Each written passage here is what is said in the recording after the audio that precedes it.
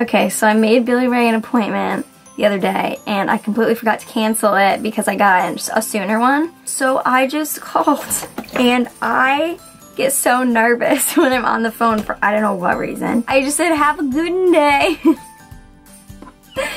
it's like 6 o'clock at night, first of all, so it should have been good night. And um, second of all, I said Guten. So yeah, that's how I'm doing. I need a break from the school, okay?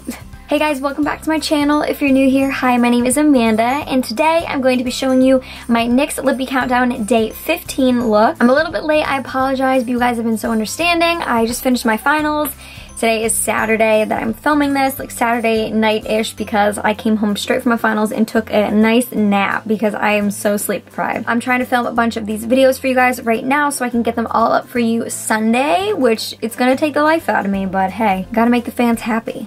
Today is NYX Lippie Day 15, and the color today is this NYX Butter Gloss in the color Raspberry Treat. And so if you want to see how I achieved this look, be sure to keep on watching. This is not the same person.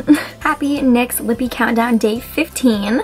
Today's color is this NYX Butter Gloss in the color Raspberry Treat. As you can see, I already have it on my lips here.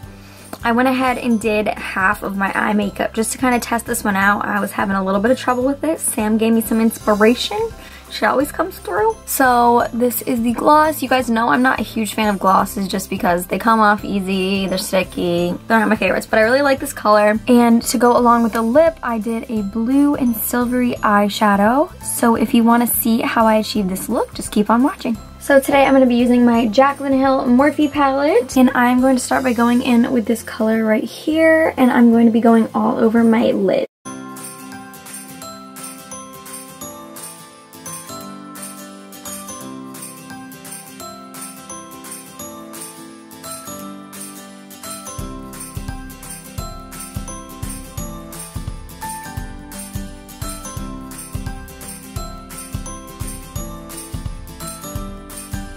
Just to be taking this brush and I'm to be blending it out a little bit so there's no rough edges.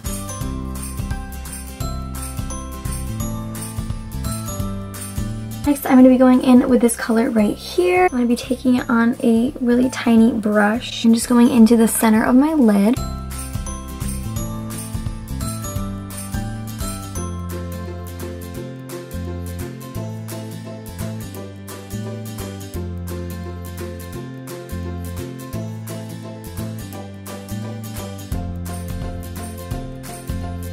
I go back in with the blue.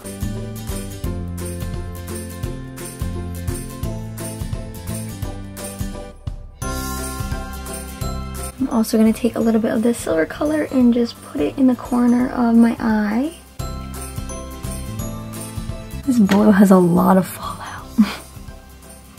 Don't know if you can see it. Going back with the silver.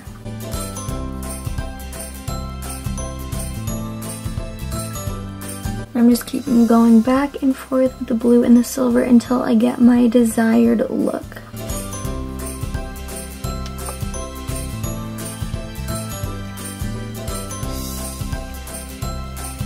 Next, I'm going to be taking a clean blending brush and just go in and blend this right here. Next, I'm going to be taking the tiniest, tiniest bit of this color right here and putting it into my crease kind of to blend the blue out.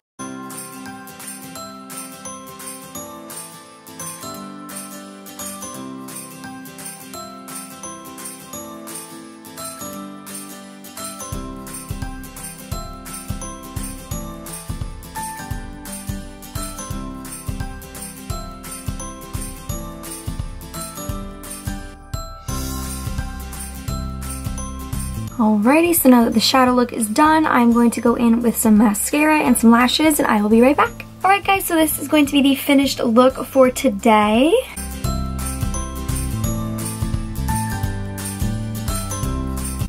I don't know why I always go like So I hope you guys enjoyed this look. Be sure to give it a big thumbs up if you did. Like, comment, subscribe. Follow me on Instagram. Be sure to comment down below what our family name should be. And yeah, if you're not subscribed already, be sure to click that button down below or this button right here. And I will see you guys in just a few hours because you're getting a lot of videos today. So watch out. Bye.